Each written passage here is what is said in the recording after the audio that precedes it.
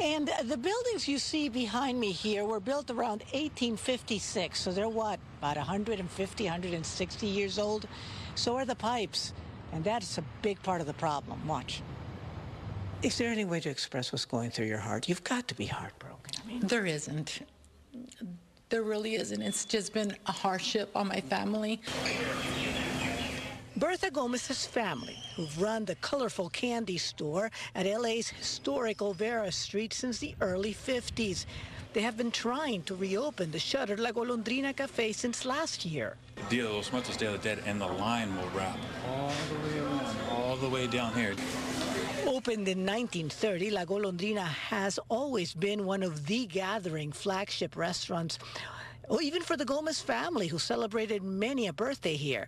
They were approved to take it over by the city, which owns and operates the historic pedestrian walkway leading to the oldest plaza in California. But this video shows badly damaged cast iron pipes under the restaurant, which would cost about $90,000 to repair.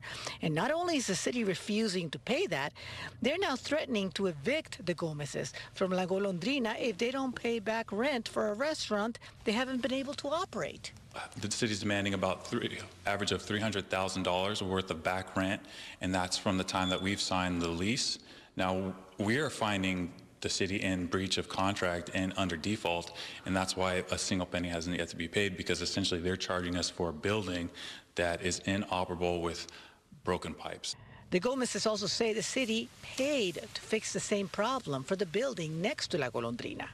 The question is, if it was fixable for them under our contract, how come it's not fixable for us? I don't know what's going to happen if it doesn't work out, but it's part of the city uh, history. It's part of, you know, so much of, you know, the jewel of Los Angeles, Olvera Street, you know, the first oldest street in LA. And I did reach out to, to, the Olvera management office. No comment from them or the city on this. The family saying they've already spent at least $100,000, and that's without attorney's fees now. They have put together a GoFundMe. The link is on our website at foxla.com. I'm Christina Gonzalez in downtown Los Angeles. Back in the studio.